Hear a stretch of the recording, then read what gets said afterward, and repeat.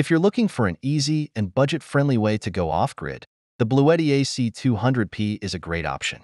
It works well as a daily solar system, but it's important to have realistic expectations. It's not a magical device. You'll need more than just plugging in a solar panel.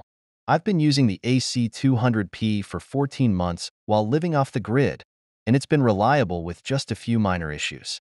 It does have a learning curve, but it's much simpler than setting up a DIY solar system or a big residential unit.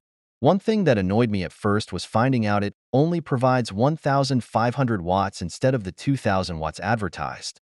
But once I learned to use it efficiently, it wasn't a big deal.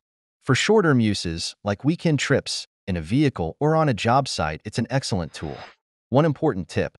If the unit runs out of charge, you need to wait until it reaches 3 to 4% before turning it back on. I was frustrated until I figured that out,